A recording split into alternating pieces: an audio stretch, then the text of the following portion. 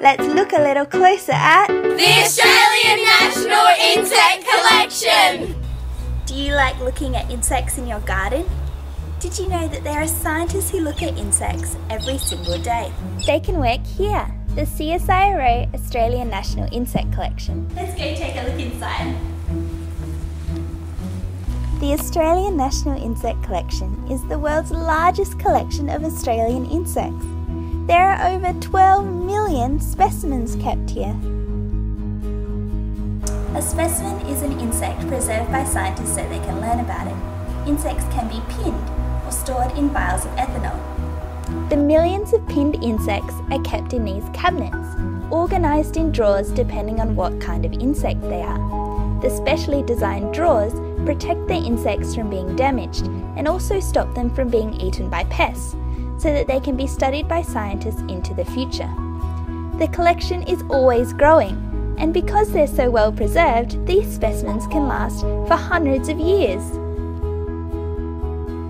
Some specimens are extremely important because they are the insect a species was described from. Like the beetles with the red labels, these insects are called type specimens, and scientists use them to check if an insect they have found is a new discovery or a species that already has a name.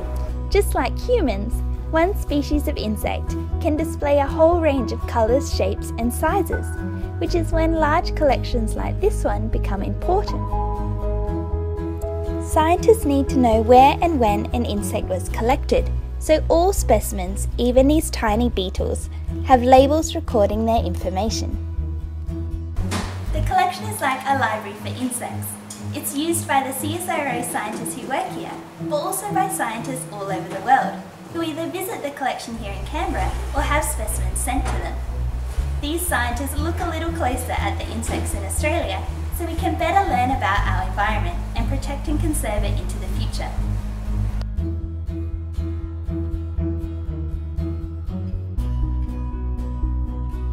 If you like looking at the creepy crawlies in your garden, you may want to be an insect scientist.